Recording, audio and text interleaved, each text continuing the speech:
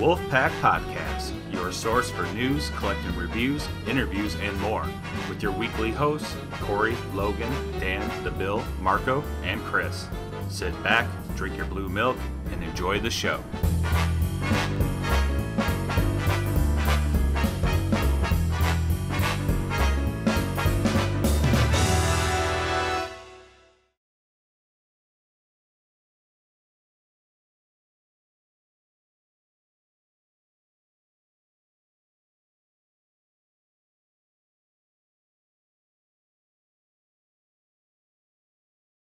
Hey, everybody.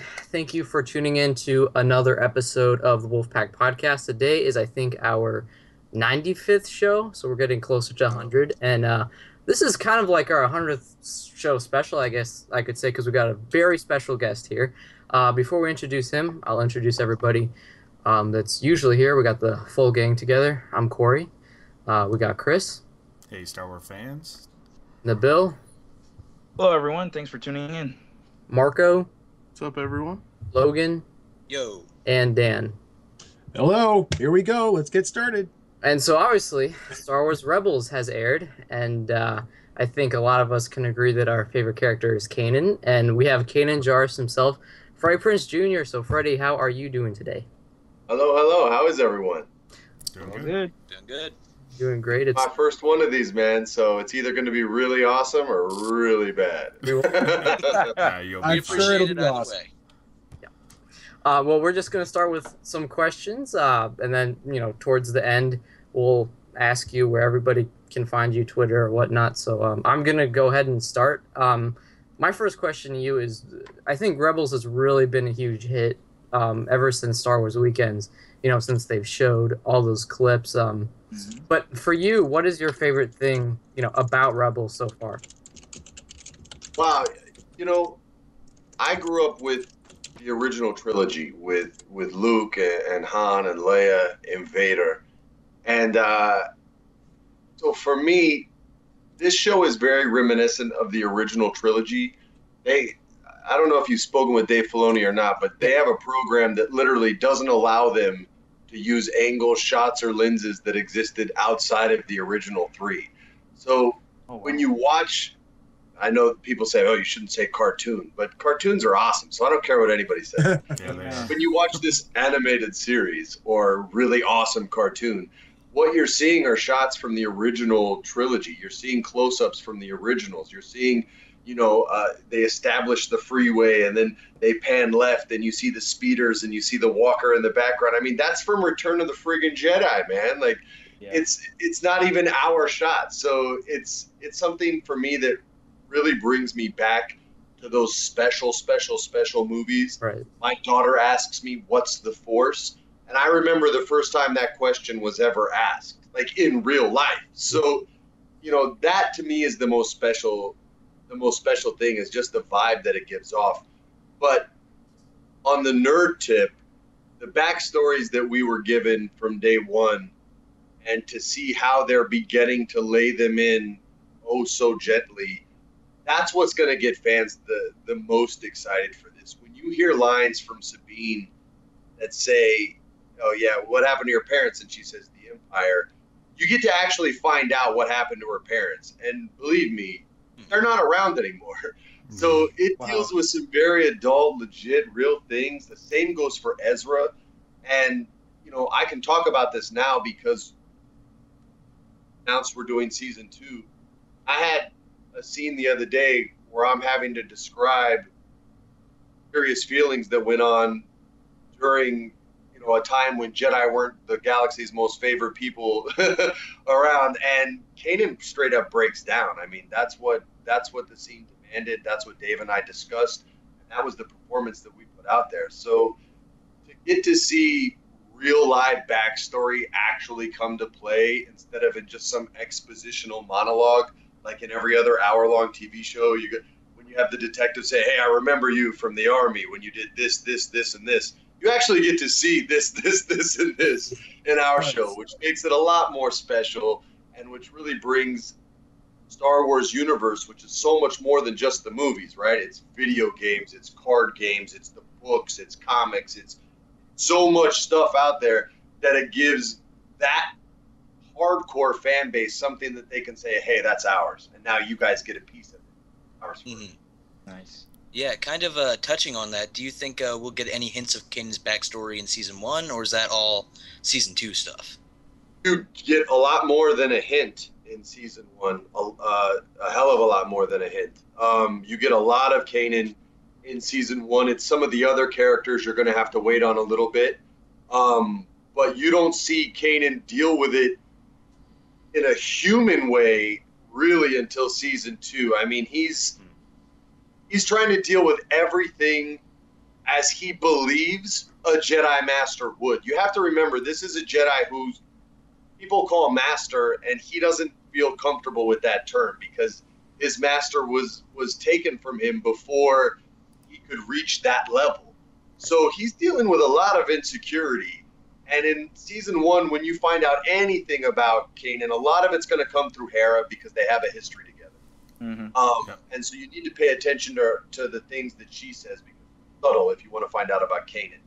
Because the way I interact with Ezra or with Taylor, I play it very close to the vest. I'm very guarded. David has to talk to me about the animation sometimes so that I'm not too subtle or so that I'm not too big. But in season one, you're going to learn more about Kanan through Hera than you will through Kanan. Well, that's awesome. That's something that you know we really saw heavily. I don't know if you've read the book A New Dawn. You know they they go through this whole process um, that really reflects you know in the series itself. Um, I haven't read the book yet. I have it. Vanessa uh, keeps yelling at me that I haven't read it yet because she wants to talk to me about it. Um, and she literally brought me the book. She was like, "I know they're going to give it to you at the junket, but you can't wait. You have to have it now." So she gave me the book she read, and it's uh, it's on my closet shelf right now. But I got two kids and a video game addiction, so it's Right. hard for me to get my sci-fi. book. Plus, I got That's a Philip actually- K. Dick stack that I still have to get through. That's something that uh, we talked about in our, our roundtables of the show is that uh, we caught the fact that Hera was calling Kanan love several times. yeah. That's So right, and they did have that type of a relationship. At at this point in the series, it's not hot and heavy. I guess would be the best way to say it, but not because they're having some sort of intergalactic beef with each other. It's because there's about to be war, and there's not a lot of opportunity and a lot not a lot of time for that. And he is a Jedi, and he is able to prioritize. And you know, Kanan's sex life isn't going to be the big man on the totem pole. He's going to be down a little lower because there's a few more important things to deal with. Even though he is kind of Han Solo-ish, and he he probably is trying to get his somewhere, but he hasn't he hasn't to my knowledge yet. what did they first call him? The cowboy Jedi when they first A did cowboy Jedi, yeah. They Yeah. everybody has their own term. Um, to me, he's real, real cocky, man, and that's such a non-Jedi thing. Right. that anytime I go that way, scripts make sure that he pays for it one way or the other. so it, it it's it's one of those things where when they first kind of were talking to me about the character, I was very hesitant, very nervous to to do any of that because it didn't feel like a Jedi. But once you start seeing the scripts unravel and you literally see him pay for those types of choices, whether it's morally, emotionally, or physically gets the crap kicked out of him. He, he definitely he's paying for his for his Jedi sins, so to speak. Yeah. Uh, do you think uh, Dave drew inspiration from Firefly for uh, Rebels? I have I have no idea. Um, that that would be a Dave question. Um, I would say that, that Dave, if if anything, he draws from the Star Wars world. Um, he loves Clone Wars. He loves it. He still Right. to this day. I think if they could still make it, he'd still be making that, and there wouldn't even be a Rebels right now.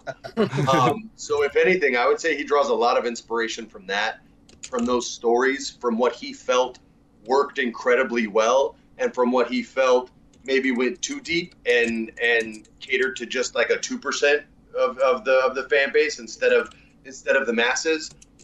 Right. That said, I happen to like Clone Wars a lot, and I happen to be a part of that two percent hardcore, you know, nerdies that that thought, you know, that just thought everything was sort of perfect, and I didn't care how deep down the rabbit hole they jumped. I wanted to go with them.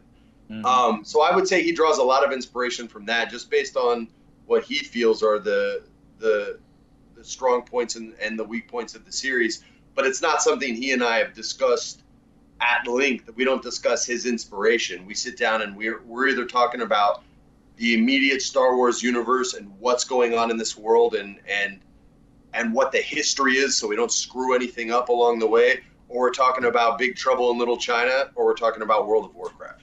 Like those are the three things That's I awesome. talk about because we're mega geeks. Um, how did it feel to get a role in Star Wars Rebels, and how was what was your reaction? Um, they sent the sides under the name of a show called The Wolf Pack. Oh, Um, Oh, very. Cool. I don't know if you guys already had this name or if you did it because of that, but that's this is that's all true because of. Dave. All Yep. because. Oh, there you go.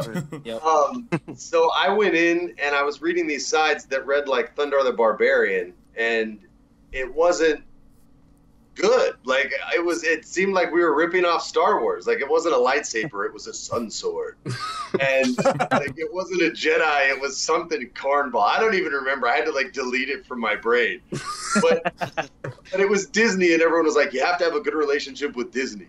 So I was like, "All right, I'll go and read it, whatever." and I went in and I started to see some artwork on the wall. There was a girl who was auditioning for uh, Tiya Sircar's role, um, but she didn't get it. Um, but she was she was sitting next to me, and I'm looking at artwork, and there's the Hera character. I'm like, wow, that, that the pleasure race from Star Wars. That's interesting.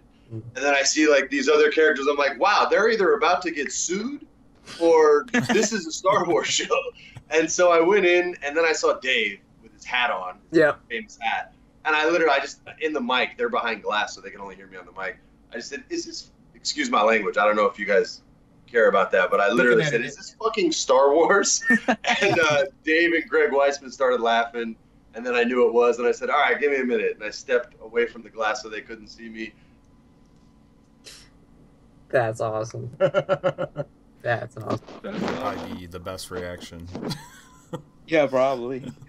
So then I just went and read the scene, and and Dave said, you know, on the second take, he goes, "Be as cocky as you want. Don't think that he has to be, Nice. you know, serious." And so I I played it like Han Solo, and they loved it, and and that was that, man. I booked the job.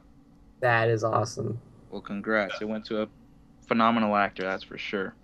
Uh, man, I, it's you know, a lot of a lot of times actors say, "Oh, you're as good as the people you work with," or "You're as good as the script." You know, it's it's on you no matter what. If if a Mhm. line's crappy or not. So when people go, "Oh, the, the script suck," like it's it's still on you at the end of the day. But Yeah. when a script's great, I've always felt like an actor should not take credit. and our scripts, you know, are you'll see, man. I don't know if many. You'd have to try real hard to screw up the dialogue that's written for us. You'd have to not listen to a word Dave says to not understand who your character is, and and what they've been through, and what their parents have been through, and what their grandparents and their entire frigging lineage from pre Vizsla down you know, to, to this Mandalorian. You know what I mean? I'm not saying she's related to Pre Vizsla, and I have no idea if she is. I'm just trying to give an example. Yeah. Yeah. So that's how deep this stuff goes. Right. And Nice. you really have, you just have to be an idiot to suck. You, you really would. You, you just have to. It's too, it's, it's, they provide you with such a perfect work environment. I mean, we all get to record at the same time. We record it sequentially, like, like the friggin' Breakfast Club. They don't make movies like that anymore, man. We're literally doing a radio show basically hmm sequentially in order. It's just if we have a take that we didn't think was good, the world doesn't have to live with it. We get to do as many as we want. But literally, we do the whole show in order, unless we got Yes. some awesome cameo who I can't tell you in there, and we need to just record him and get them in and out real quick. And we've had a few of those.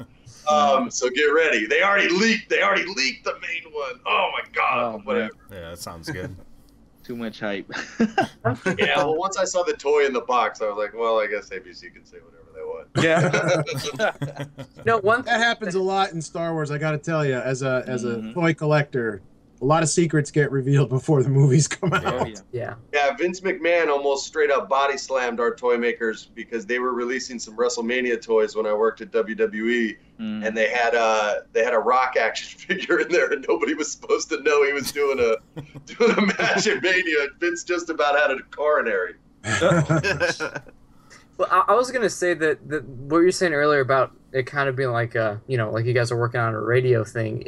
It's so true because you listen to some animated you know series and they're kind of like you can tell it's recorded separate, but you know if you watch the Clone Wars or Rebels, you can totally tell that you guys are at the same place because the dialogue that goes back and forth is so you know genuine.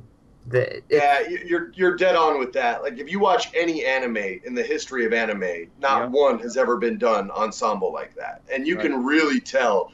So the trick with anime is you have your lead guy or girl voice the whole show, and then you have everyone else sort of matched to that. That's the Mhm. video game style, right? That's Mass Effect. Mhm. Shepard records all his lines, Fem Shep records all her lines, and then the supporting cast comes in and they give organic, proper reactions to them because we need to match them. We are supporting cast, they are lead cast, right?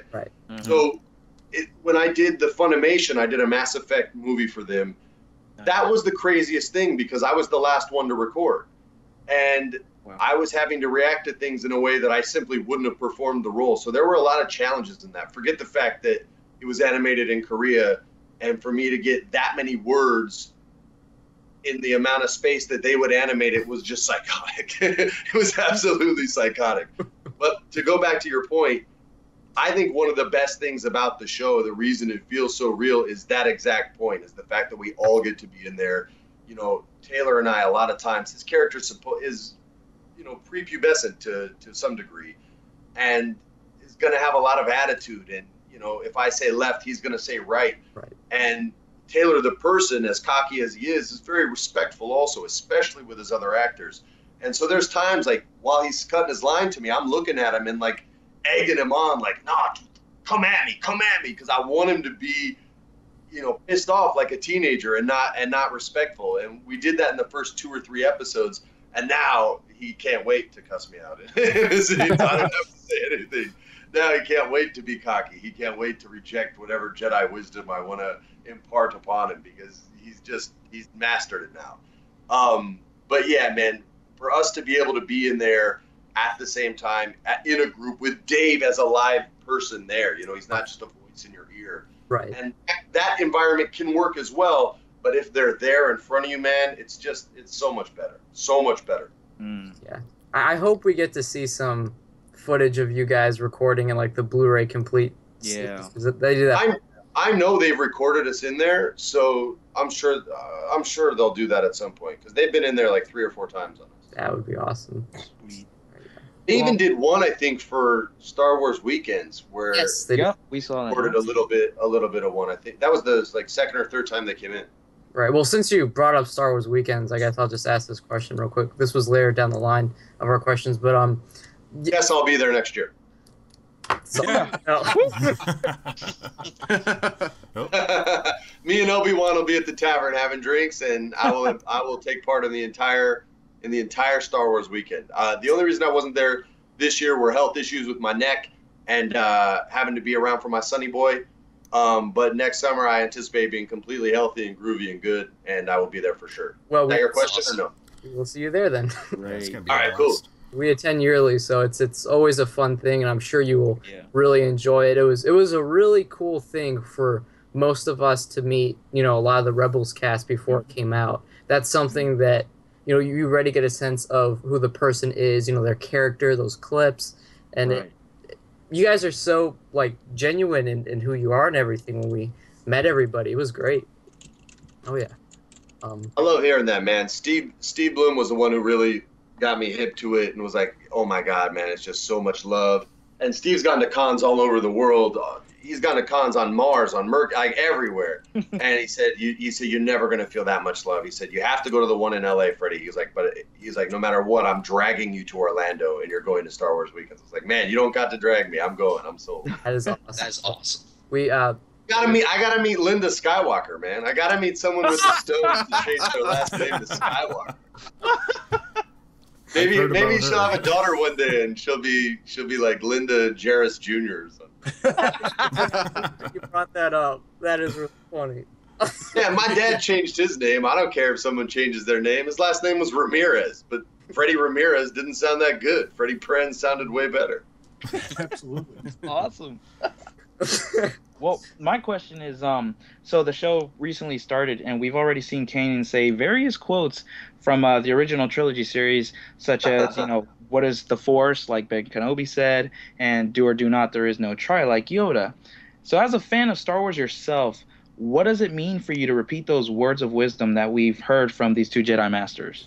Uh, I'll be honest with you. It ain't the first time I said any of those things. so that's probably the easiest part of the job right there, man. Okay. Um, the the speeches that discuss what the force is hmm is surprisingly not as much pressure as the speeches that deal the world of Star Wars or the description of a character that we've all been familiar with in the past. Sorry if I'm speaking cryptically, but I have to. Um, when you describe epic figures that have existed in the Star Wars universe, who we all know and love, hmm that's when I'm reading the script when I get goosebumps. That's when I stop right there and I don't proceed forward until I really get that monologue down cold, as cold as if it was a live action.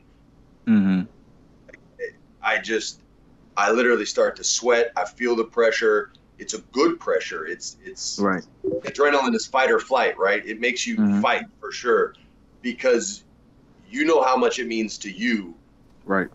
You know how important these characters have been to people. Like hmm you're going to see characters who some people will say, "Hey, that's my favorite character ever," or "Hey, that chick is my favorite character." I mean, literally, it's it's at that level. Like for me, it would be if like Boba Fett was chasing us, then I'd literally be like, if they screw up anything about Boba Fett, then it's game off.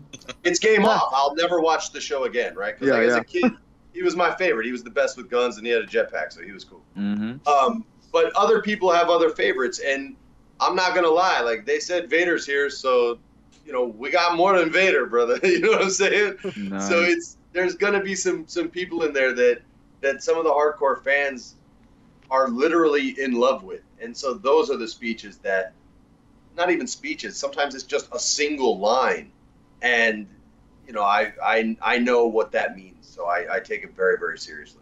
Well, and I, and I will say, and I know everybody here, except for you, since you haven't heard it before, everybody here is going to be so, so tired of me saying this. But yeah, I'm, I'm hoping that we get to see some uh, Clone Wars characters in there because I, I, I'm one of the people in this group that was, I think, the only one who really kind of was in the age range when Clone Wars came out. It's kind of what I got introduced to it with. So Sure. um, here's hoping. I mean, look, man, I, I want there's I got a lot of I got a long want list as far as characters that are that are going to be on this series. I've had a few of them struck off, so I'm I'm feeling good, and I think that's going to make other people feel good. Um, you know, they can't do them all or just be corny. It'd be like that Batman, the the what was that one that Joel Schumacher did where he had Batman had nipples and they basically just put like every bad guy at once. That man, It didn't make any sense, right? You're like, really? Did they need that guy too? Oh, well, all right, whatever. He gets five minutes of camera time. That's it. Okay, whatever. yeah. So I just right. Two Face had like five minutes in that movie, and you're like, wow, it's Tommy Lee Jones. So, wow, I guess they paid him ten million bucks and said, put it in your trailer, bro. But anyway, I'm getting distracted. But yeah, man, it's there's gonna be a lot of cool throwbacks that exist throughout the Star Wars universe, and I think people are gonna be way hip to it and way excited. And there's some new characters too that are cool as hell, man. I mean, I, I, I don't even know if I can say his name. It wouldn't be like a big spoiler, but if you love Big Trouble in Little China, man, you're gonna love one of our characters. 'cause- Awesome. Nice. I will say I do really, really dig Vizago. Like, Yeah. Totally. yeah, Vizago's the man, and he's in way more than just one. He's a good theme throughout throughout our series, and the voice actor who does him does about eight other voices on our show too. Yeah. Um, just about every British officer that you hear that's not Steve Blum getting killed. Steve's usually all of our stormtroopers. That is awesome. nice. I've been a couple. I've been a couple. They they they didn't make the cut in the pilot, and then as I got better with my trooper voice, I think I'm in there around four or five. Awesome. No, that's cool. That's awesome. I actually like that the troopers have different voices. That sets it a bit Yeah. apart from uh, the clone trooper voices in Clone Wars. Yeah, man, and you, and you got to remember, like we have guys in there that are having full on like they're playing three characters in a scene at once. Like two guys arguing with each other, and a third little like Greedo looking dude trying to interrupt, and he's doing it in one take. You know what I'm saying? so that's what I have to live up to. They're like, "Hey, Freddie, give us a stormtrooper." I'm like, "After that, are you joking? Move along, man. That's taking five. That's cool that everybody, you know, almost everybody gets to play a stormtrooper. That's something that actually uh, me and Logan were talking about earlier. Was we were wondering if you played a stormtrooper, so that is awesome that you. Yeah. Yeah, and there you'll hear some like some civilians that that the Empire is is you know, harming, and you know a lot of the screams and and the weak, you know, sort of sort of victim like, please no. a lot of that is a lot of that is us too. All right. That is cool. All right, yeah, Dan, you're Uh, Oh, so yeah, I, I kind of had a an easier one because I throw this out there, but uh, I think you already kind of answered it in your other topics. And you know, obviously you're a Star Wars fan, but do you prefer the original trilogy or the prequel trilogy? And I think we already know. Yeah, I mean, I'm. It's easy for me. I'm an original trilogy guy. I don't. It, it this is a real simple analogy for me. I, I get a lot of people are hot with the, with the second three, right? You Mhm. got to remember it. It was to inspire, and some of you guys may agree with me, some of you may not. This is just my opinion. Mhm. But you got to remember, it was to inspire that next generation of of kids to fall in love with just the world we have. And the the, the comparison I'll make is like with WWF or E WWE. They have a guy named John Cena, and half the crowd boos him, and half the crowd cheers him. Everyone over the age of 18 basically hates him, and everyone under the age of 18 loves him. But John Cena is Hulk Hogan, right? He's Hulk Right, Hogan. pretty he's much, eat your vitamins. He's do your homework. He's work hard and you'll accomplish your goals. Yep. He's necessary. He's also the hardest working guy in the company, by the way, for all those people that hate him. There's a reason they go, "Oh, give Daniel Bryan the chance." They gave him a chance. He got hurt. You know what I mean? Like you're the champ. You got to wrestle, and your matches have to be epic, and your body has to be able to handle that. That's no, that's the truth. I'm not trying to crap on people's dreams. I'm just saying that's the truth. But John's back to the point. John Cena is he's he's he's the new Hulk Hogan, right? So when I was a kid, I thought Hogan was great. When I turned 18, it was F Hogan. I love The Rock. Hogan's corny. Hogan's lame. And that's kind of how people put that moniker on poor Jar Jar, man. And that ain't Jar Jar's fault. Right. He's just a good island boy, like chilling, trying to do the right thing, trying to be respectful, treats people so well. It's a, it's a fault, right? We have that nice guy whose girlfriend just treats him like crap, and you're like, dude, why do you take it? And he doesn't think he can do better than that, so he does. And you're like, no, you're better than that, Jar Jar. You're not calling your friend Jar Jar, but you know what I mean. right. But like, he's a good guy, man, and he's been an innocent victim in this entire in this entire debate, and he shouldn't be, Yeah. man. Like. They, they want to do like battles like Vader versus Jar Jar just to see Jar Jar get annihilated. That's not right, man. He's a good character. He really is. I am not a Jar Jar hater at all. I will say I I, No. I can definitely stand him. I love him the Jar most Jar's in funny. the Clone Wars. He's not even a warrior, and he was willing to be on the front lines, man. Yep. That's big Yep. time. I, I do say I've, I've, I've said this on various shows over the years that uh, when I went to see the Phantom Menace in the theater the first time, I was one of those that groaned at Jar Jar. Then a couple Yeah. days later, I took my kids to see it at a Saturday. They loved him, and that's when I got it. I got why Jar Jar was there in the movie in the first place because he Mm. drew in that younger crowd. For real, man, because kids relate to. He's Win- he's Winnie the Pooh. You know what I mean? Like kids, kids can't help it. They just grab it. Well, now he really is because it's Disney. Um, by the way, they're re- they're redoing Winnie the Pooh, and they're doing different voices. Does that sound good or horrible? Oh. Uh, Sounds horrible, right? Oh, The Yeah. guy that did the Tigger voice is still alive, and they don't want to go that direction Right. because the Oh. Tigger voice sucks. What? Oh. That- Anyway, sorry, I get distracted a lot when it comes. That's to fine. I, That's, I have so much like passion for voice work now that I met some really cool guys that when I hear these stories, it trips me up. believe me, we we go off topic all the time. So Oh, yeah. Are you This an is Innocent great normal fan for by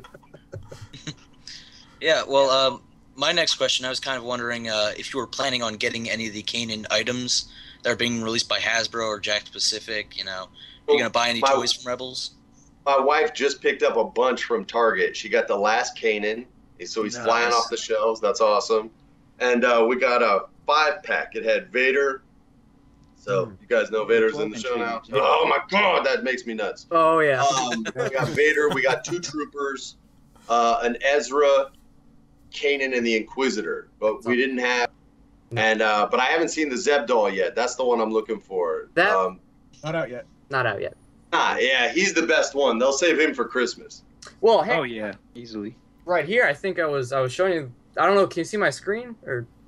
No, all I can see is uh, the logo, the Wolfpack logo. Okay. Um. Yeah. Well, I I got the Kanan lightsaber in my hand, but this is definitely some. If you see it or if you need help getting it, I I'm sure I could get you one. It's I actually, right before I got on with you guys, I tweeted a, a pic, and uh, Sarah grabbed that too. So I have the old Anakin one, the, an- the blue Anakin one, and I have the blue Kanan one. awesome. There- Nice. Nice.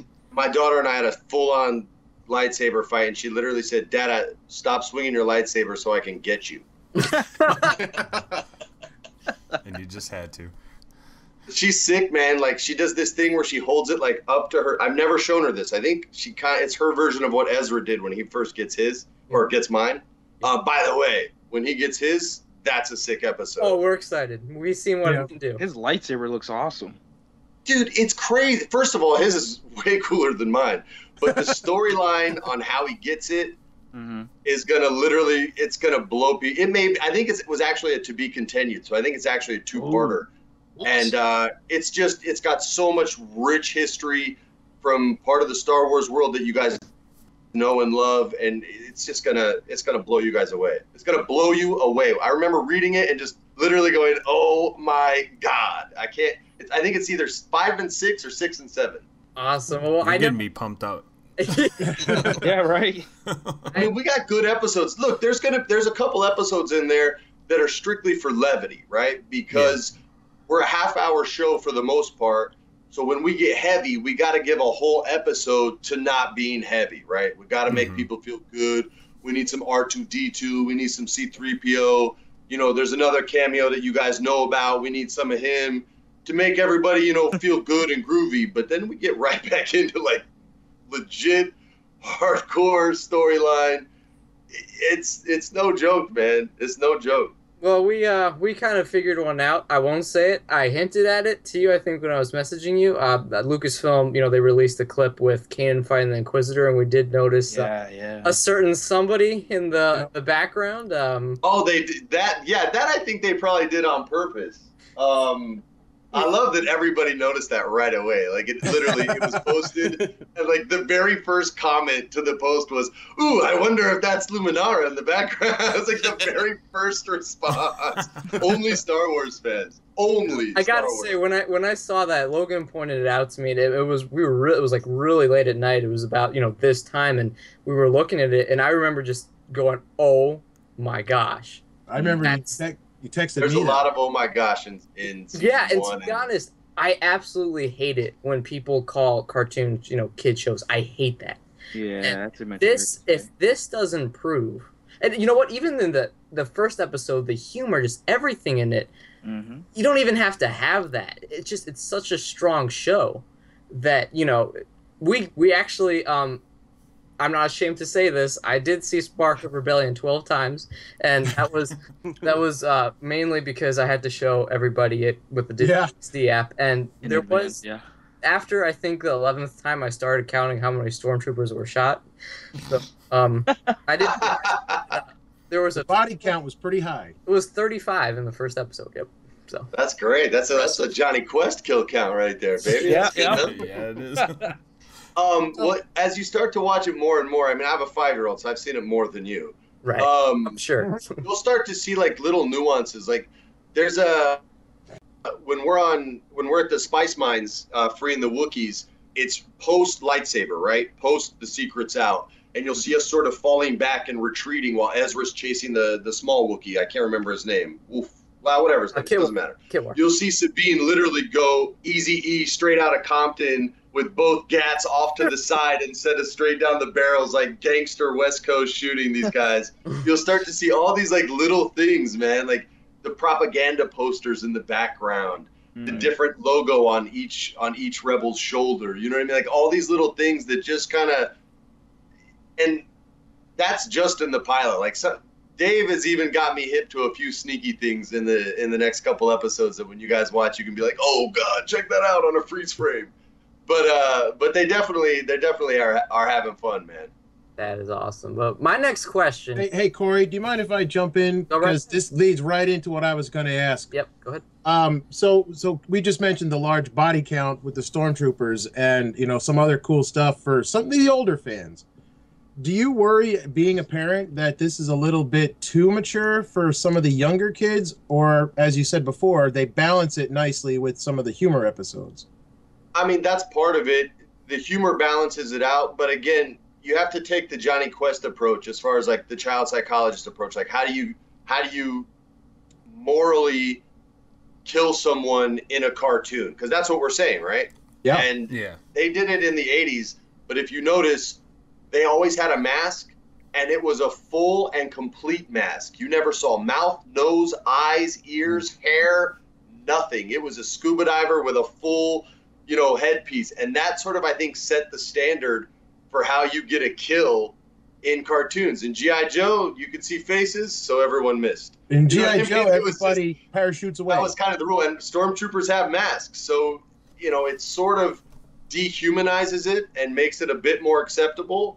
Mm. And I'm just talking from a psychological standpoint. But for me, that type of violence isn't something I worry about with with my child uh, because for me it's more the discussion why, and kids are always going to ask why. And a lightsaber battle is far more violent than a single laser blast hitting a stormtrooper in the shoulder and he falls down, right? And my daughter loves lightsabers, but it's more about why are they fighting? Mm. Who's he defending? Why is he protecting the queen so much? Why doesn't he just run away, daddy? Here's why. He lives by a code, like a samurai, daddy? Yeah, baby girl, just like the samurai. I talked to my daughter about ancient. My godfather's Bob Wall, so I know a lot about old martial arts and ancient Japan and Awesome. ancient China.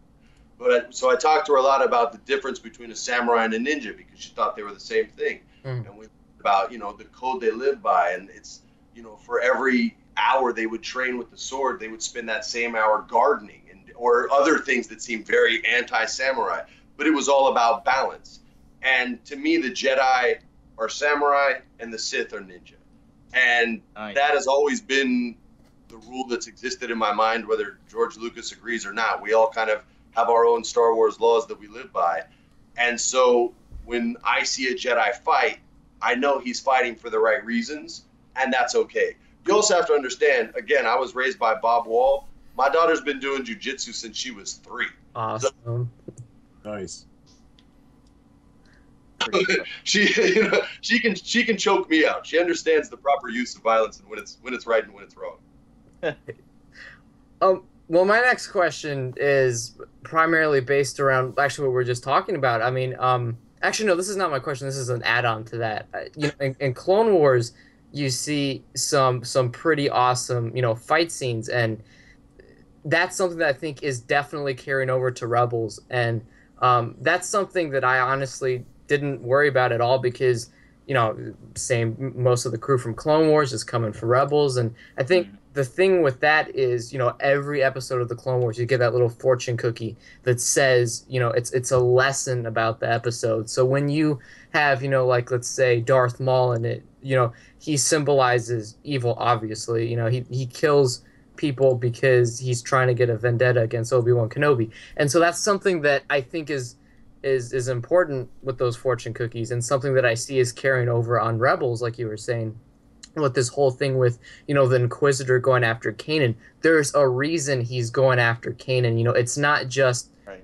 because it's because order 66 and I think that's one thing that that's awesome about the show is they ex- explain that you know yes the Jedi have to be wiped out it's it's some heavy themes but it's you know at the end of the day that's what happened so I think it's awesome that they're really showing that, bringing the Inquisitor in, going after Kanan, and now this Vader scene, which you know a lot of us have theories on. Um, I'm very excited for that. So it's awesome. Well, see, now you're speaking my language when you go to Clone Wars and, and those and those lightsaber battles, or, or really any of their battles, to, to be honest. Yeah. You know, they've always been fantastic at fighting for a reason why. The best example ever is Pre Vizsla versus Darth Maul. Yeah. They both had the most legitimate, re- the most legitimate reasons to fight. You could even debate that Darth Maul isn't necessarily all evil in this moment, Yeah. considering considering why he's having to make this challenge. It's not purely well, I guess it's still selfish, but there's still other reasons there. Right. So Mhm. when you see those two go into battle and you know there's a clear reason why for each one, it's okay to watch. It's not like you're just watching two robots battle it out because it's CGI and, and they had a hundred million dollars to do it. Well, why are they fighting? Because they had a hundred million dollars, sweetheart. So in in Clone Wars, it was, you know, you had clear cut motivations to the point where even when Vizsla's downed and fallen, he dies the way he lived. He dies willingly, hmm. wantingly. He wasn't strong enough. He wasn't good enough. That was the code that Star Wars established, and they didn't cheat the audience by saying he, he's going to get to live. Right now, they didn't show you the head cut off unless you got the director's cut, but they didn't cheat you on his moral code. They didn't cheat you on his on his warrior code. They kept true to that, and that's why it's acceptable violence. Exactly. One thing that I always I always think about when I think about stuff like that is that um, also has to do with the Mandalorians. Is that one where they're totally terrorizing that town, and Ahsoka is there, and Lux is there, and you get that scene where you know Ahsoka is all tied up, and she just totally gets out of that and just totally deep, you know, decapitates six, yeah, uh, Mandalorians, and I think But what else is she going to do? I mean, considering the, the her situation and the environment she's in, yeah. For her to not do that is for her to no longer be on the show. exactly. you know what I mean? Mm-hmm. So it, we we want it, and they reward it, and you almost know if she can get out, she has the propensity for violence, and she'll tear these fools up, and she she rewards the fans who who know that's going to happen. Mm-hmm. Right, and that's also, you know, one thing about Rebels and Clone Wars is yes, there is high stakes. You know, these people are being hunted, and it's important to see them fight back, which they are. You know, like that Ahsoka reference, it's she's fighting And back. you'll see a lot more of the hunt. You'll see much more of the of the hunt, and and you'll see a lot more of the stakes being as high as they can be. But it still has to have like varying waves, right? It can't just be at a nine all the time. It can't just be Right, right. that Star Wars music that's like dun dun dun. It can't be there the whole time. You have to have that dun dun dun dun dun dun dun. dun. You got to build up. Yeah. So we have some of those too, but there's definitely stakes throughout the entire well series, I would say. But we've only done a season and a handful. Awesome, um, Marco. Um, who is your favorite Rebels character besides Kanan? Um, Kanan's not my favorite. Oh, he's not. Zeb is my favorite. Kanan's number two. Um, And after my own heart. Zeb gets all the best lines. Zeb gets to kick major butt. When you see when you see his backstory, and if you watch the the Droids in Distress, then you got a taste of it with with uh, with Kallus, right? And he talks about giving the order to use disruptors and Mhm. destroying his race and these types of things. Well, it goes way deeper than that in a few episodes. And you see Zeb basically win and not know how to stop winning. And it, it takes a very serious moment between him and Kanan for snap him out of it. Very sound cornball because it's not the best movie. But there was a great scene with Ed Harris in The Rock, and uh, he kind of has this this standoff moment in the in the final act where his own men are turning on him, and he has to like yell at his own commanding officer to stand down, and it's like ripping his heart out, and it's really that kind of moment that you have. It's all- David Morse is the other actor, and it's you know picture Kanan as Ed and and Zeb as as as David. That actually is kind of the right height too for them, by the way. Um, and and you can get a sense of what that scene is was was like for for Steve and I to get to do. That's awesome. Interesting. The bill. Um, I guess you answered a while ago my second question, so I'm gonna just go ahead and jump to my third one. Um, if there's anything that you can do with Kanan in terms of uh, exploring his past life, what would it be and why? What do you like? What would you like Kanan to do in the future? Well, you know, we have some similarities as far as, you know, sort of being parentless at an important part in our lives Mm. and having a mentor taken away from us at a very inopportune time in our lives. Mm. Um, so in that that regard, I would like to see that part of it, and we do to some degree. I, I can't say too much on this because it sort of directly connects the story, which I don't want to spoil for you guys. Mhm. But to grow up without a father, for me personally, Yeah. you can kind of just extrapolate this onto Kanan, and then I'm not giving stuff away. Um, not grow up with to, to not have a father. The most important thing for me was when I had children that I be the best father humanly possible that that I could be, and if that meant being a stay-at-home dad, then so be it. Um, you know, this this business, acting, whatever show business, whatever you want to call it, you know, it's not even sixth or seventh on my priority list. It falls below video games, and that's not a joke. Um, my family's first. It was very easy for me to walk away from this business and say I'm only going to work if it's in Los Angeles and I can Awesome. and that's what this job has provided. Now, I'm not trying to say, "Oh, look, what a great dad." I'm trying to connect this to Kanan. So, bear with me here.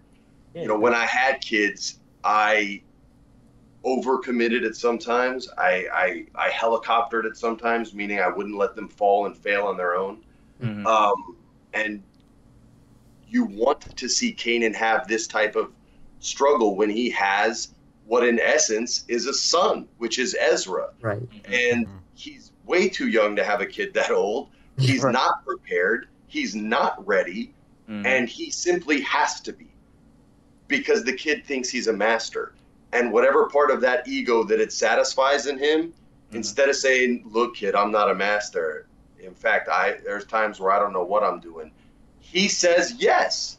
So now he has to live what in essence is a lie as a Jedi. So if that's not conflicting enough, then I don't know what else is. And then.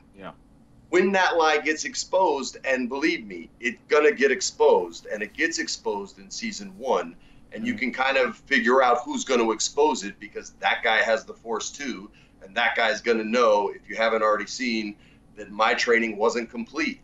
And when he drops that eggshell, that eggshell, when he drops that bomb, I don't know where I was going there.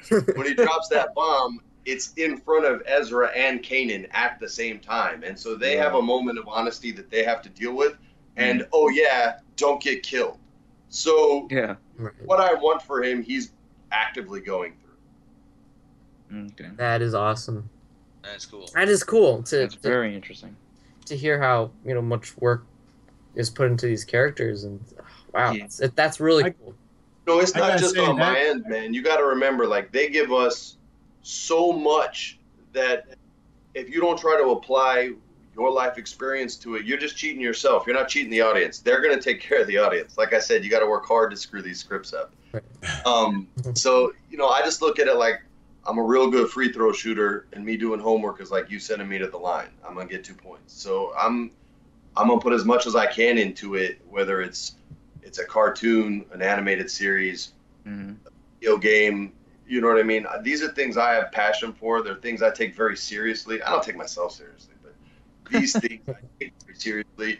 And so if I get a chance to be involved with them, I'm not screwing that up, man. You know what I mean? Like Yeah. I would put my video game work up against anybody who did video game work in their life, and I had only done one at the time, but I mm-hmm. had so much passion for it, and I- I know how to act but I knew what was right and what was wrong for a video game. I knew what worked and what didn't, dialogue wise. I'm not saying I know how to develop one, Mhm. but as far as what a gamer wants out of their character when that character kills somebody that was really hard, as opposed to killing something that was really easy that you just meleeed once, right? Mhm. Right. And usually you get reactions where you're like, wow, he's awfully excited to kill that small thing, whatever. and it's just because the guy's, you know, in his 40s and doesn't play games, and he can't be blamed for that. It's Right. the it's it's the director's fault for saying, hey, you know, you gotta. It's not that big a deal. You gotta go a little smaller with this. hmm So, you know, when you say Freddy, you're gonna get to play an, you know, a Jedi. Come on, man. I mean, I did that when I was a kid. When I was five years old, I got scars on my face to prove it. You know what I mean? Like, I literally got stabbed with a lightsaber in my chin. So, you know, it, it's it's something that I'm not I'm not going to take lightly. and unless something horrible happens, like I develop a terrible drug habit, I'm not going to screw it up. Well, uh, that's something that we're, we'll get to at the very end of uh, the questions. But yeah, we're we're it's, Habits? All right, great. it's it's that's pretty cool that um that you play a lot of the video games. I think a lot of us play, and you post it on Twitter, and it's awesome. Yeah, man, I'm a I'm a very proud gamer. I uh, Same all the way back in the day from Atari, all the way through to the old EverQuest days, to to World of Warcraft, to Halo when it first came out, to Mhm. uh, Grand Theft Auto. Golgo 13 is my favorite game ever. It was an original NES title. Zelda, any Zelda game, forget it, man. I mean, I, I, I love games. They're to me, hmm they're television. Most people watch TV. That's not my thing, man. I'd rather spend my time being a part of the show, a part of the action. Yeah. And remember, like games are so empowering now, right? Like when I was growing, I'm 38. When I was growing up, games were designed to make you fail. They were disempowering. Yep. Mhm. The, the boards were built for you to die no matter what you did, so that you had to put in more quarters. That was Right. the whole point. That was how arcades made money. It was a generation of failure. We had to work to get to our bosses. And the new generation is what I call the God mode generation, right? Where there's no struggle, there's no difficulty. You kill Darth Vader in Force Unleashed 2 without even taking a frigging shot. Which is the most disgusting boss fight I've ever been a part of. I get fired for saying that. I can That I can so- agree with that. Unbelievably immoral in every way, shape, and form. I literally didn't get hit. And I didn't have it on easy, it was on normal. I didn't get it. That's disgusting. So right Force on for Unleashed kids, too. and I know that they like games that make them feel good, but remember, like when you're an adult and you've never dealt with failure, that's why you killed Vader. Nobody kills Vader. you don't get to do that. Right. Yeah, Force Unleashed 2 was the easiest way to beat Vader too. Even on the most highest difficulty, it felt like it was normal. It was pathetic, so disappointing. Was really dis. But remember, like every boss should be Bowser, right? It should feel Yeah. like it, it, like you earned it. It meant something. He finally stopped running away, and you got your hands on that son of a bitch. And Yeah. it should be tough. Like the second, like I played the Wolfenstein game. Like the second to last boss shouldn't be harder than the final boss, and the final boss should definitely not feel sorry for me when I kill him, or I'm gonna be super mad. And I liked that game. I thought it was a, the first ten minutes was weird, and then it got great, and then there was an incredible boss fight, and then there was a really lame boss fight, and Yeah. played themselves. All they had to do was invert that, and they could have had like a game of the year type game instead of a oh yeah that was a seven or an eight. You know what I mean? And Mhm. nowadays, like, with I'll, I'll take it back to the movies. Like, when you see Vader in the movies, Mhm. that's your ass. Like you're Yeah. you're done. Mhm. So I'll say this, and it's the only thing I can say to kind of save the fact that everyone knows James Earl Jones is doing it. Yeah. Just know, I'll, I'll I'll coin a wrestling term. We do the job, all right? Mhm. We and to, and to be called a jobber in wrestling, they think it's a bad word. That's the guy who always loses. It's an absolutely incredible job. You're the one who makes the the guy they want to win look great, and it's the it's the reactions you have to him and the way you interact with the audience that makes that guy when he wins look that much better. So believe me, when when Vader comes, when your favorite wrestler comes to town, Mm. we job. it's it's Lord Vader. He, we don't we don't win. I promise. We are so excited to, to, to see Vader. I mean, when I read that article, it's like We all flipped. we Oh, did, everyone's honestly. It, I, I've mellowed out because everyone's so stoked. I just you know I wish ah whatever. It is Well, what it is.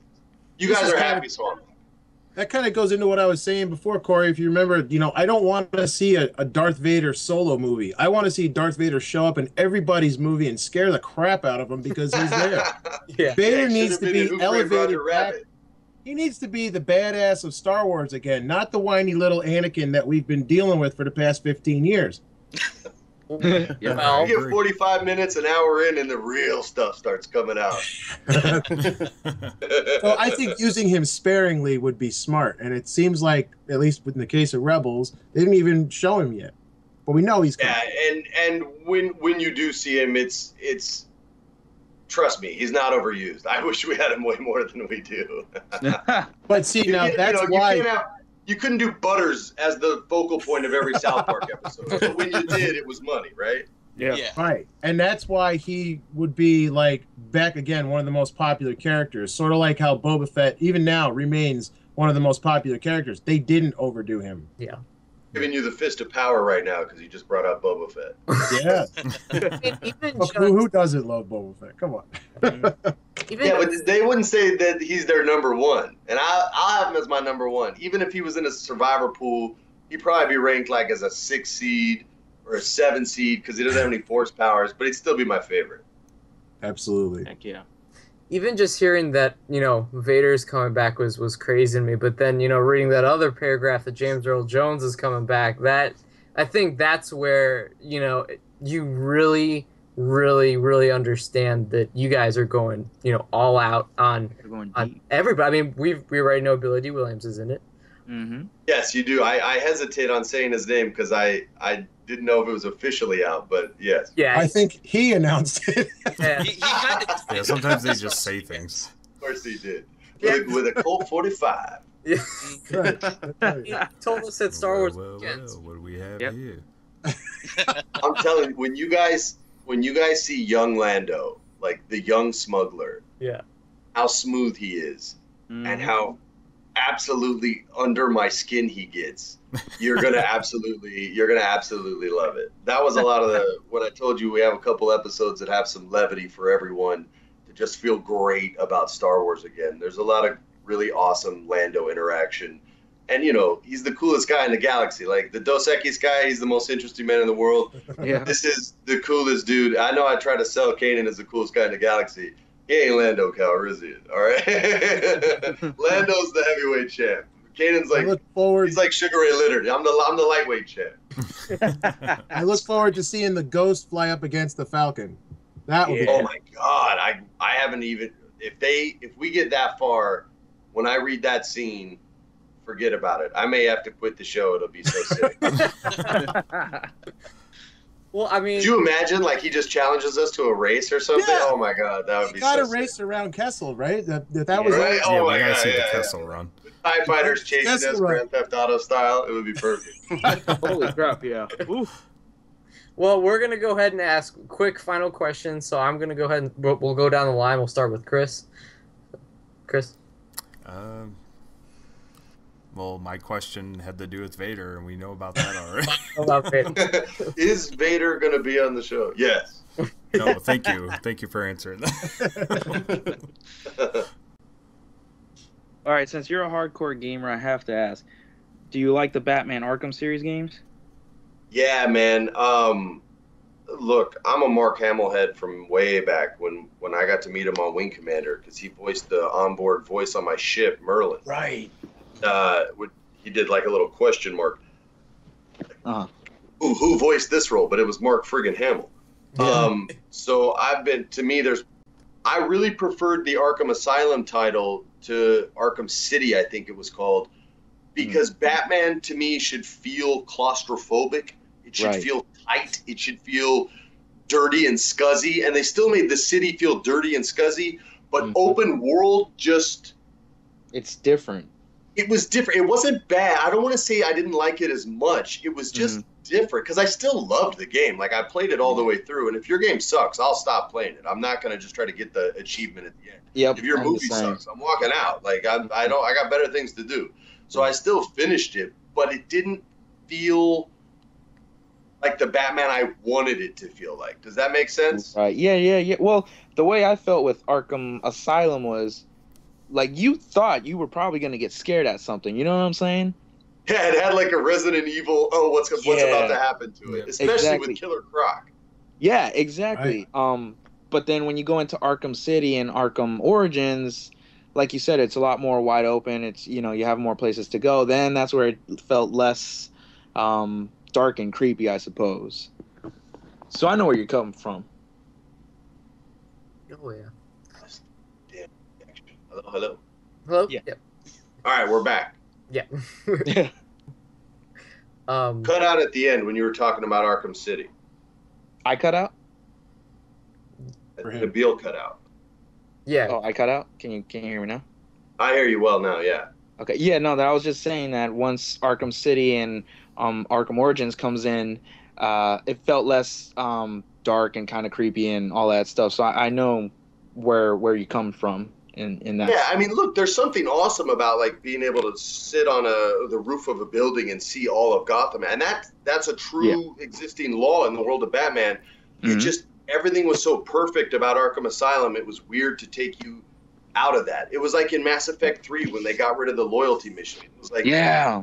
I don't understand why. Like we every that was the one of the best things about the second game as for mission wise and that's where you got to know the most about your crew i remember when we were when we were recording it i i asked oh what about the loyalty missions and it got real quiet on the other end of the mic i was like oh i said something i shouldn't have said and they were like yeah we're going a different direction this year which probably meant that you know ea was being jerks and not giving them enough money to do it Mm-hmm. but uh, but yeah, I really missed that in the third one. You know what I mean? Like, there's just certain things that when they're perfect, don't change it. Grand Theft Auto's so great at that. It's yes. you know, it's like here's what's awesome about our game. We're never changing that.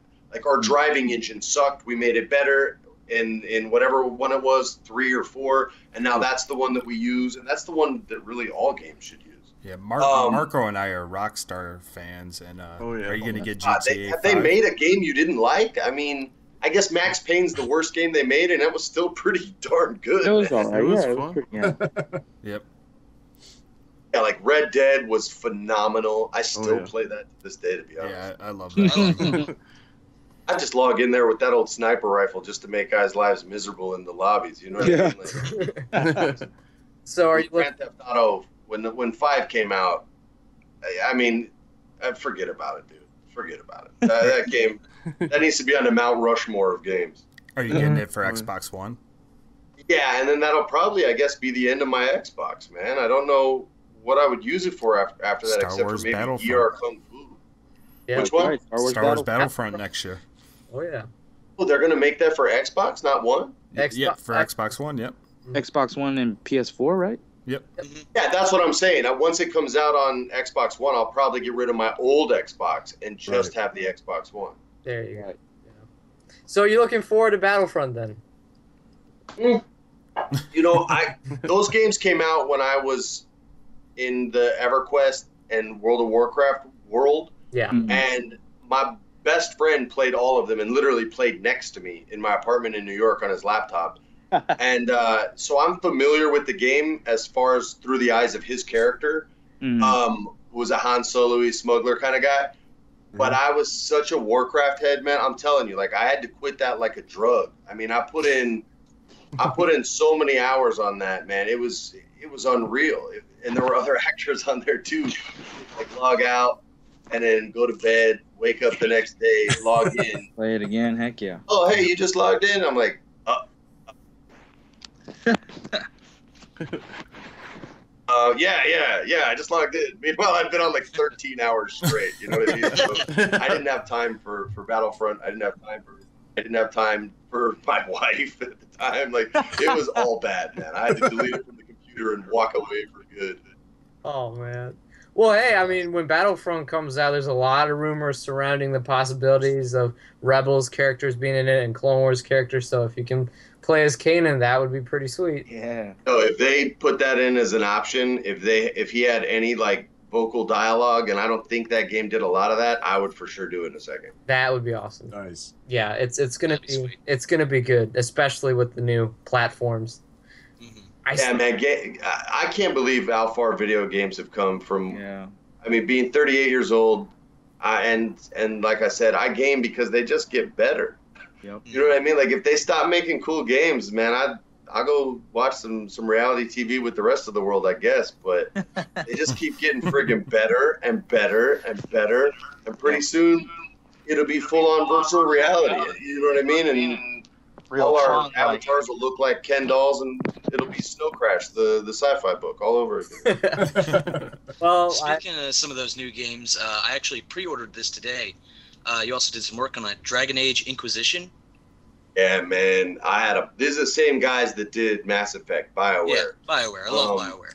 I'm a big Oh, yeah. Bioware head, man. They, I think they're so ahead of the curve on so many things, and Oh yeah. I love the. Uh, I don't know if they get credit for inventing the weapon wheel and the character wheel, but man, do they do a great job with it. I just their characters are always the best. Their storylines are always up there with the best, Mhm. and their games are just fun, man. And Dragon Age, you know, I was only familiar with two of the titles. I didn't play Dragon Age one. I played Dragon Age two, um, and bottlenecking just got too frustrating for me. And I played Origins, and I enjoyed Origins a lot more. Um, as far as the gameplay went. So when I spoke with Caroline, or the the director for the game, her name's Caroline Livingstone. I, I worked with her on Mass Effect. Um, you know, the original audition, they just kind of wanted him like a jock. You know what I mean? Like without a, without any sort of voice, not quality, but any vocal change really. And it just didn't sound right to me in the audition. And I, I booked the job anyway. But when we got in there, I kind of asked if I could throw something at her, which was something I had been working on with, with Steve Blum. And uh, she was like, Well, yeah, let me, this is just over a headset and a microphone. And I had no time to even rehearse the voice really. And I just kind of like gave her a sample of it, of the Iron Bull, and sounded kind of, you know, like, like a British giant sort of, and with a speech impediment when I first started. And uh, I got some of the lines, and it just sort of refined itself into the voice that's that's out there now and uh, that ended up being honestly more fun than the James Vega voice, just because there's no rules with the Iron Bull, man. Like Bioware games, there's not a lot of rules anyway, right? They have homosexual characters, pansexual characters, heterosexual characters, and nobody talks about it. It just exists. It happens.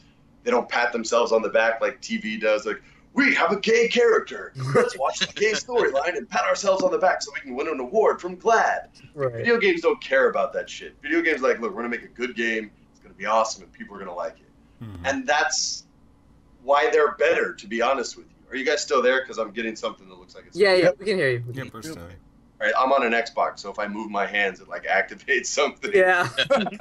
um, so anyway, so so to get to play this character who literally, I'll I'll say, modestly is an equal opportunity lover, with safe words.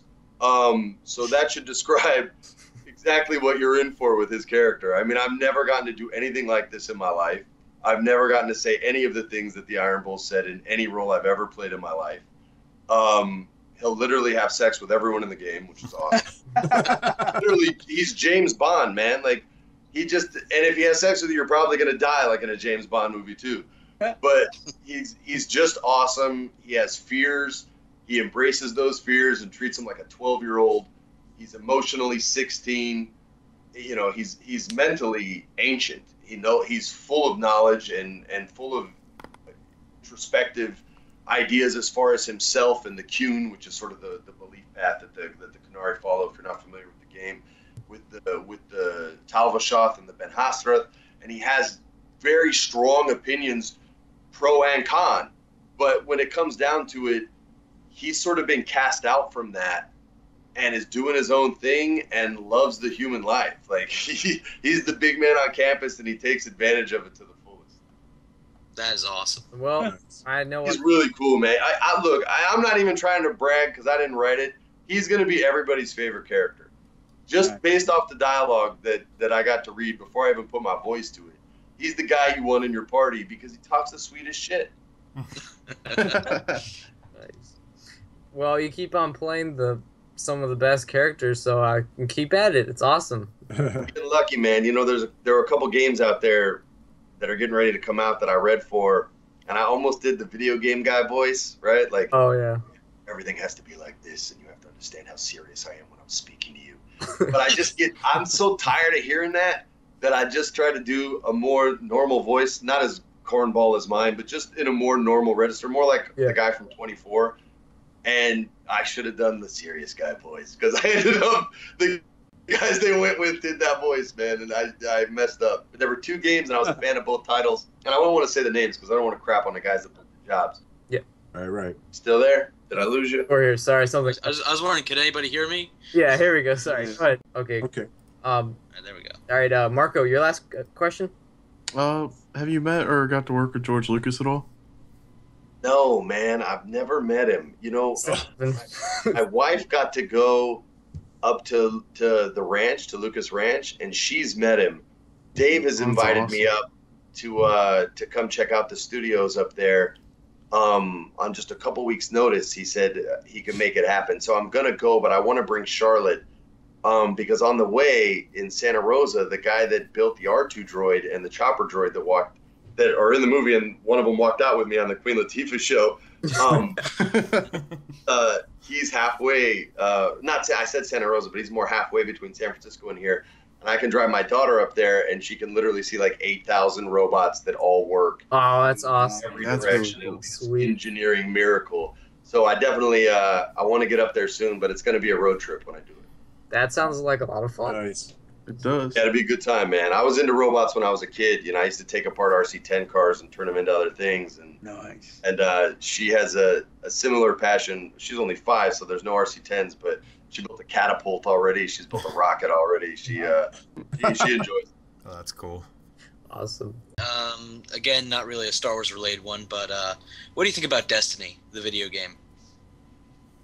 Well, I I like it. I know why some people are getting tired of it, and I understand that. Um, but if you're logging four or five hour sessions on a game like Destiny, you're gonna get bored in about a, a week. like it's not it's not that kind of game, man. Like it's Yeah. it's it's not Warcraft, and they're trying to mix it up and put in different types of events, right? Mhm. Yeah, and I don't there's think the they want it to just be, you know, a loot and poop game where everybody's like, you know, why do you like Borderlands? And the first thing I hear is loot, and I'm like, well, that sucks. Like, what? What do you mean? It just can't be because of loot. Like, what kind of character do you play? What, you know, what's the storyline? Well, in the first one, the storyline really sucked. Oh, or- or- you bought the second one? Why? Well, the story's a little better, but I got this gun and it does this and that. And I'm like, man, there's a million other games you can play that have better loot than Borderlands. Yeah. Um, Yeah. so you know destiny i think is a good mix between halo and and borderlands and i think and i do think it's a good mix i'm only level 22 on it yet so i'm not to a point where i can be bored um Yeah, i do i do a storyline instance and then i go do a strike and then i check out what you know what items i got what i need what i don't and then i'm done and i'm playing grand theft auto Right. yeah, it's a good just pop in and play I don't every know. once in a while. i think so man you know what i mean it's like a Yeah, Call of Duty is perfect because like you can jump in and in 10 minutes you got out the energy and it's over. And Destiny is Hmm. like a 35 minute version of that. Does that make sense? You do missions Yeah, quicker than I do. So for me it's a 35 minute experience. He's like 30 minutes. You suck at Destiny. I'm looking for dead ghosts, man. Come on. oh yeah. So you've done a lot of different things over your career: romantic movies, comedies, Scooby Doo, and science fiction movies, Wing Commander, Mass Effect, games, and stuff like that. You're obviously a sci-fi fan, which we all are. That's why we're talking Star Wars. Are there any other science fiction properties that you've not been a part of but would like to? Um, I mean, yeah, I'll answer that two ways. There's there's some things that haven't been made yet that I would love to be involved with seeing them get made. Um, Hmm. you know, I'm a big Neal Stephenson fan, so for me, the fact that Snow Crash, which is a top five sci-fi book ever, the fact that that hasn't been made yet, and I know they've tried a couple times, is is crazy to me. I mean, now's the time where you actually could make it because technology has actually caught up to that story. Um, you know, Annie uh, William Gibson it was called pattern recognition Mm-hmm. logos, anything. Like if she had a, a purse, and if it was a Louis Vuitton purse, she would break into hives just because she hated being a, a billboard for anything. And that story that he did was very much in the social networking sort of vid clip, weird, creepy sci-fi universe. And that could make a great like David Cronenberg movie, right? He did like Existenz and a lot of other weirdo stuff. Um, but he'd be like the perfect mind to sort of wrap around that. So those are things that haven't been made yet that uh, that I would love to see get made. I think your question was more related to existing uh, products that are out there that maybe I'd like to hope to be be involved with. I would honestly tell you first, it would have to shoot in Los Angeles, and none of Right. them do. Um, because I ain't leaving my family for nobody, Jack. I mean, Yep. I, look, if they want, a, uh, I don't even know how I would be Kanan. I'm too I'm too damn old, man. you know what I mean? Like I and they film in London or somewhere, but if they filmed in San Francisco and they and they thought I was cool enough to do it, I would do that. But I don't, uh, you know, I don't anticipate leaving my my family again ever, unless if I am, it's because Sarah and I are hurting and, and one of us needs to get to work, and hopefully that day doesn't come. But if I could jump on a movie and that wasn't that wasn't a part of the plan, um, that Matt Damon movie I didn't see it, but it looked cool. It's called Elysium. Yep. Um, I, I'm big. I'm big into nanotech, and that's what that. I don't know if they went into nanotech in that movie, but in the trailer, it looked like that's what his exoskeleton was. Yeah. And sort of create weaponry. If you're not familiar with nanotech, they're sort of like the micro, micro, micro computers, and they would basically the theoretical science behind it would be they could sort of control anything the user had an understanding of. So if you needed to create a Gatling gun, if you understood the, the the engineering of a Gatling gun, then the nanotech could create that for you in a moment's notice, and you're Jesse the Body Ventura kicking ass on, in the rainforest. but, uh, but I but I don't know if that's what that movie was. But he looked awesome in it, and I would have loved to have worn one of those suits. I'm not a big Star Trek head. I've never believed in setting my my phaser to stun. It's just stupid. Yeah. Um, it has a kill. It has a kill phase on it for a reason. Use it. Um, so you know, no offense to to Captain Picard and Kirk. You know, I worked with Kirk. God, I love him, but don't set it to stun. And you don't have to have a shirtless fight scene 22 minutes later because you killed them already. Um, so you know, I, because that to me was like the ultimate cult sci-fi movie ever, and it had Rowdy Roddy Piper. Another WWE legend. Piper in it for crying out loud. So you knew it was going to be great. And then literally they have a 22 minute fight scene for no reason. It's because Roddy wants him to try on some sunglasses, and Keith David doesn't want to try on. Or is it David Keith? Keith David, Mass Effect. Keith David, yeah, David Keith. Damn it, one's a white guy, one's a black guy. Help me out, guys. know, they're talking- the voice of Spawn. Who is the voice of Spawn? The Uh, Admiral from Mass Effect. Keith David, right? Or is David. it David Keith? Nope, David Keith is the white guy. Okay, David Keith's a white guy. So Keith David and Rowdy Roddy Piper literally have a 20 minute fight scene because he doesn't want to wear some glasses. And that's it. And there's no reason. We've been talking about motivated fight sequences for an hour, right? With Yeah. Jedi's. Here's the most unmotivated fight sequence in the history of film, television, or video games. And it was awesome. So if they did that, I would definitely want to be involved. Awesome. All right. Well, my Up to John Carpenter. Interview John Carpenter and tell him to get it done. Absolutely. Sounds good. my final question. Um, actually, I got one mini question for my final question. Is I'm very confused about the way that the um episodes are numbered in Rebels. I was wondering if you could, like, if you knew about this. I know that Spark of Rebellion is a movie. It does that consider the first two episodes since it's 45 minutes, or is that just the movie and then Droids in Distress is the first episode? Um, I would consider Droids in Distress our third episode. Okay. Yeah. Although I don't know if Disney would agree with me. Okay, well, yeah, because that's what we've been doing when we do our, you know, our reviews of episodes. I've been labeling Droids in Distress as the third one. So, very final question. You just, you know, you said you were coming to weekends. I'm assuming you'll be at Celebration too in Anaheim. That's the one in Anaheim that Steve literally, even if I didn't want to go, which I do, Steve is making me go. So I'm, I'm, I'm going to be there for sure. So, thank you so much, Freddie, for coming on the show. We really appreciate it. It was a lot of fun, and um, we we definitely hope to get you on again at some point. And um, it's just, I hope your first interview was good. It was, it was awesome. I'll tell you what, um, there's a pretty big story point, like I said, either around five or six and six or 7 Mhm. And uh, when that comes out, another time to talk. It'll be a good time to discuss where the characters are at and, and where they're going. Absolutely. That'd be awesome. That would be awesome. Um, actually, so now I'm gonna end recording. I do have one uh, off, you know, recording question. So, um, thank you all for watching another episode of the Wolfpack Podcast. You can follow Freddie um, at Twitter. What's your Twitter tag? Just so I get it right. This is my Twitter tag. I think it's at Real FP Junior. Let me look. Hold on, I got my phone. Okay. Yeah, I've actually looked. I've never said this. You guys are the first person. This is the first time I've ever said like my Twitter handle. Awesome. All right, it's at Real FP Junior. Okay, definitely go check. So original. I saw my wife's and I was just like, oh, I'm doing that. You guys definitely need to follow him on Twitter. He posts hilarious things every day. That definitely, right now. uh, it definitely sometimes brightens up my day when he posts those stuff. So, Yep. Um, I appreciate it, man. you know, thank you so much. So, thanks everybody for watching. Uh, Freddie, thank you so much, and uh, all of us here, may the force be with you. Yeah.